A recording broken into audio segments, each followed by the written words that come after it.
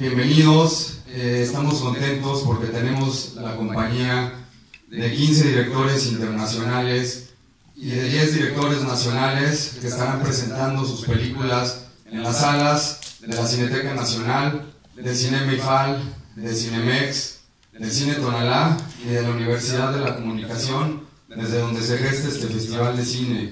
Eh, sin el apoyo de la universidad eh, sería imposible poder eh, hacer este, este esfuerzo y este festín cinematográfico.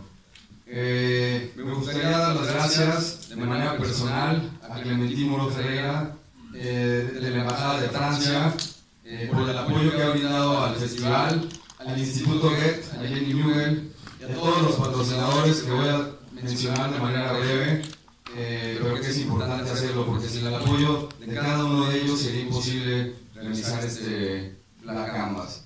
A la Universidad de la Comunicación por organizar el Festival de Cine, a la Cineteca Nacional, a Cinemex, a Cine Tonalá, a la de Cine Mifal, a Procine DF por apoyarnos a través de la convocatoria que organizan semestralmente, a la Embajada de Francia, al Instituto Francés, al Getty Institute, a dos eh, hoteles eh, que nos han brindado y han extendido su generosidad a través de su hospitalidad. A los Flow Streets, Condesa, Polanco y World Trade Center por albergar a la mitad de nuestros invitados especiales.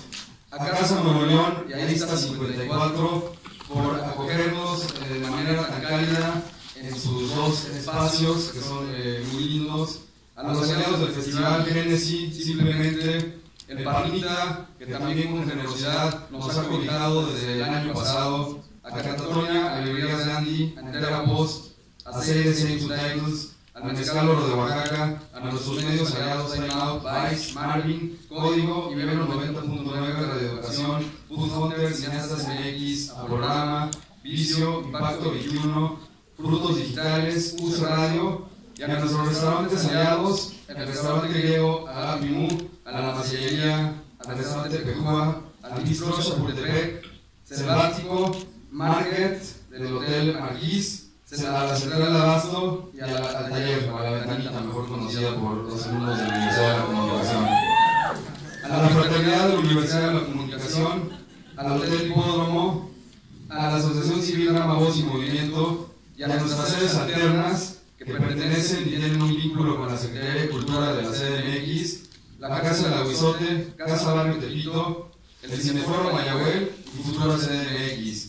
A todos ellos les agradecemos profundamente eh, su colaboración con el festival. Me gustaría darle la bienvenida a Salvador Corrales Ayala, rector de la Universidad de la Comunicación y productor ejecutivo del festival. Un fuerte aplauso.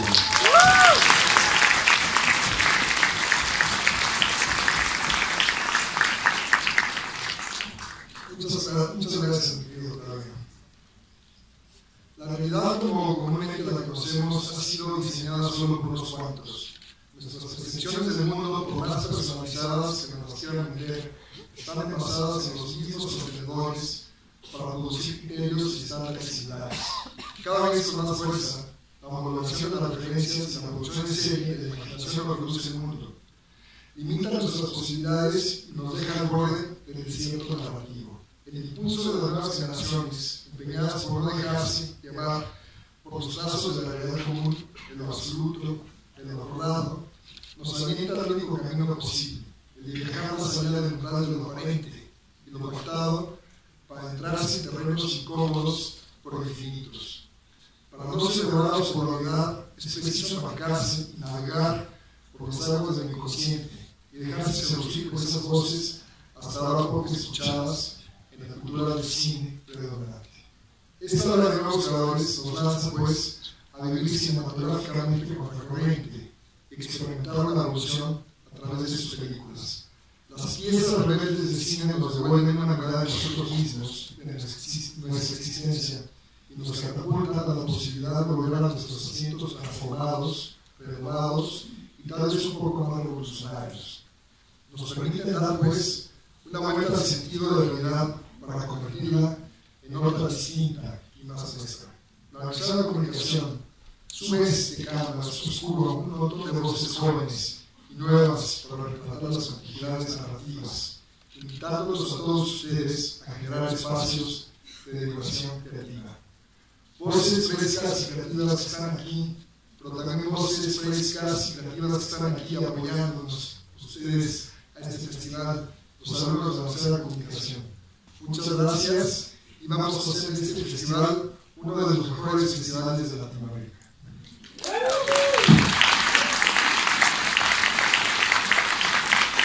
Eh, me gustaría dar un agradecimiento especial a todo el equipo de Black Canvas, eh, un equipo que es muy joven, la mayoría de ellos eh, son alumnos de la Universidad de la Comunicación, a todo el plantel docente de la universidad, eh, a los administrativos de la universidad y a, lo- a la gente que trabaja desde los departamentos de diseño hasta los departamentos de comunicación de la universidad. Este es un festival que se hace de manera alternativa, no se hace como otros festivales de cine en México y creemos que hay formas distintas de reconstruir y acercarse a formatos alternativos de producir cine y de producir festivales de cine. Eh, en pro de esto, creo que es una, una aventura que inició hace tres o cuatro años junto con Salvador y que finalmente el año pasado tomó, tomó forma eh, de maneras un poco precipitosas y de pronto con cuestiones que nadie, ninguno de nosotros puede controlar, pero que nos hace encontrarnos como seres humanos frágiles y que no podemos controlar nada. En eso se celebra el cine, se celebra el cine de nuestros días, que representa los síntomas del mundo y que a través de todas estas visiones a las que nos vamos a acercar, vamos a poder relacionarnos de una manera única y especial con estas películas. Me gustaría pedirles un fuerte aplauso para Constantina Corzamani, directora griega, que hacemos una retrospectiva y que se encuentra aquí con nosotros. Un fuerte aplauso a Casimir Avanzi, director canadiense, que también está aquí en la sala y le vamos a presentar la retrospectiva. A Johan Lur, director austriaco, que presenta su película Estrella, una de las películas imperdibles de este Black Canvas. Adam Jolin, director de fotografía de la película Relaxo, dirigida por John Podricus, a quien el año pasado le hicimos una retrospectiva y que también estuvo aquí con nosotros y que regresa a dar una masterclass sobre la cámara en movimiento. Eh, un fuerte aplauso a Daniela Weber, eh, coordinadora de programación y colaboradora del Festival de Cine de Berlín, Shai Yassin, directora de cine, eh, a Antoine Boulard, director de Ready to Appear, una película también increíble del festival, a Philip Wang, que nos acompaña desde China en este festival para presentar Bien Berlín, eh, a Ronald Ferman, que presenta The Image eh, también nos da mucho gusto tenerlo aquí con nosotros en México. Todos ellos estarán en el foro de la Universidad de la Comunicación a partir de mañana a las 10 de la mañana hasta las 2 de la tarde, hasta el día sábado 25 de agosto, llevando a cabo una serie de actividades que corresponden a la formación de, de jóvenes estudiantes de cine. Eh, me parece que es una oportunidad única de acercarnos a estas visiones particulares y poder compartir a través del proceso de vida personal y de la filosofía de, vida de cada uno de estos cineastas, escuchándolos y poder reflexionar del cine o de la vida mucho más allá del cine, en donde toma el cine una representación más importante de lo que hacemos nosotros como seres humanos y de nuestras propias reflexiones, y desde lo que surge desde este contenedor interno que representa cualquier manifestación artística. David Dion, productor también de dos películas que se muestran en el festival, también está dando una clase magistral sobre la producción y cómo un productor de cine acerca desde ese lugar de ser humano a la visión de un director para poder producir una película. Digo, hay mucho que decir, me da mucho gusto que estén aquí, estamos muy emocionados y me gustaría pedir un fuerte aplauso para Serge Bozón, director de la película Madame High, la película de la inauguración. Un fuerte aplauso para de un.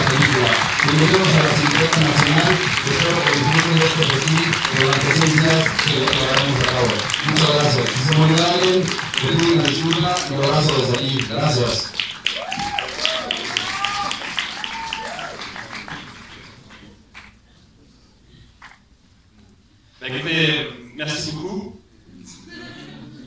Ah. Yeah. So thank you very much. I'm very happy to be here. Uh, thank you, Claudio. Thank you, the French Embassy. Thank you, uh, the audience. Uh, I was there 10 years ago with a movie called La France here in Mexico for a festival called FICO. And I had great memories of this stay here. And I must confess that I don't know why, but uh, my movies have always uh, a special relation with Latin America or South America. because, for example, the only other place where Madame I, the film you're going to see, was know, the opening movie of the festival was in Mar del Plata, in Argentina. And all the prizes I got for my movies are always in Argentina, Chile, Brazil, I don't know why. Um, perhaps some Latin American spirit in my movie, uh, you will see. Um, and uh, it's also for me a double pleasure because, as I said, I was there 10 years ago. But uh, a bigger time is, is with David Fio, my producer. I met him 20 years ago. So it's and we and we work and we work we work together since 20 years. Um, I won't say many things about the movie because I think it's better to be surprised, and I hope that my movie is a little surprising. Um, and I'll be there after the movie to answer your questions. And uh, I'm very pleased to see all these young people, all these students in the audience, because in fact, my movie, it's not a joke, it's really about teaching and uh, about the transmission of, of knowledge. And uh, it's not a kind of party movie, it's in a certain sense uh, an austere movie, you will see. But uh, there was a, an, an, American actress called Mae West, that you perhaps know her, and she said that uh, she only liked two kinds of men. She only could fall in love with two kinds of men, those who wear a mustache and those who didn't wear a mustache. and so I can say what I can say about my movie is made for only two kinds of people in the audience those who were at school and those who were their teachers. So now I let David speak to you. Thank you very.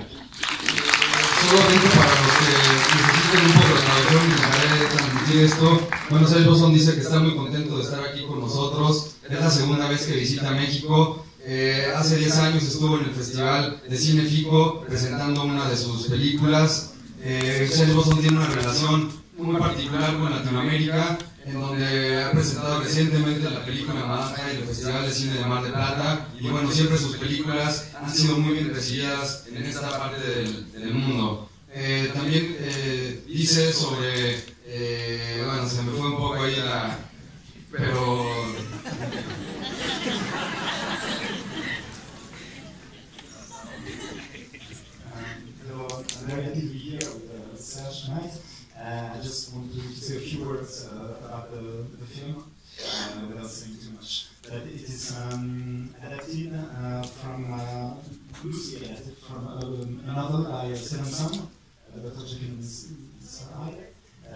Uh, that is um, adapted in a French context, in a contemporary context, and um, the, um, the main character is a man, but it's a woman, and it's um, interpreted by Isabelle.